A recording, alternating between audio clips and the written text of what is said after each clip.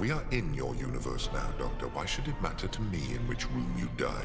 I can kill you just as easily here as anywhere. Fear me. I've killed hundreds of Time Lords. Fear me. I've killed all of them. I don't understand. There isn't a forest in here. Yeah,